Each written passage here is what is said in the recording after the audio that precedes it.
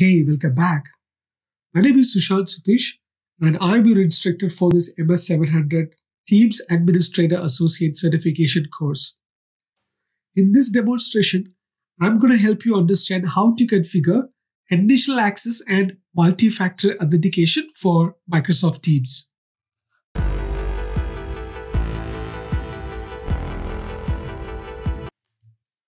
Organizations are in a constant changing security threat environment.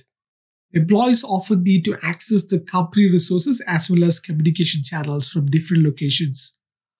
Organizations face a challenge when protecting the company data and at the same time providing the employees with access to the workplace resources they need.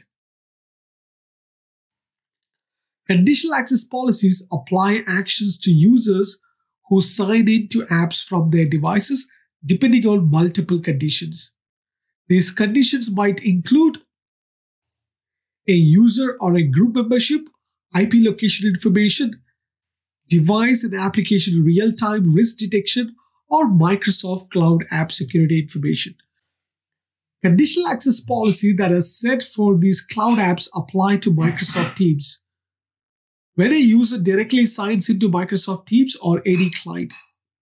Microsoft Teams is supported separately as a cloud app in Azure Active Directory conditional access policies. Let me go and show you in the Azure portal where you can apply these settings for your organization. I'm on my Azure portal. On the left hand side, I'm going to go to my Azure Active Directory. Under Azure Active Directory, if you scroll down to security, this is where you can find the conditional access policies.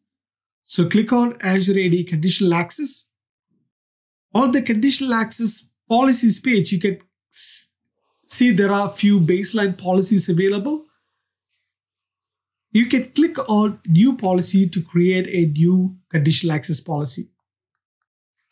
The name field, I'm going to type Teams policy. Under users and group, I'm going to select all users.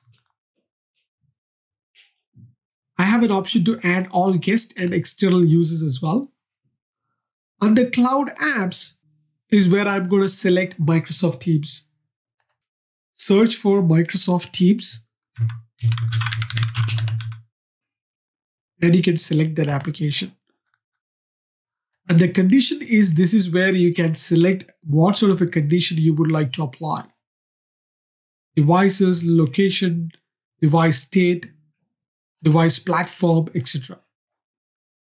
Access control is where you will either block or grant access. So I'm going to grant access, but after requiring multi-factor authentication control.